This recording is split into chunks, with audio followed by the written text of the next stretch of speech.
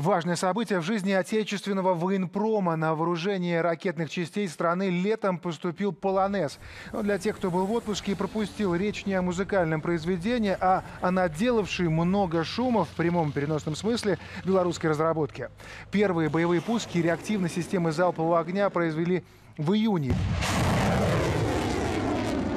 детище нашего Минского завода колесных тягачей позиционируется исключительно оборонительным «но». Только посмотрите на него. Одним своим присутствием полонез способен внушить трепет для потенциального противника.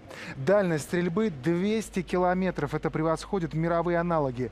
Успешное испытание первой белорусской РСЗО стало кульминацией развития отечественной оборонки. Ну и справедливо команда военных конструкторов в числе тех, кто удостоен госнаград.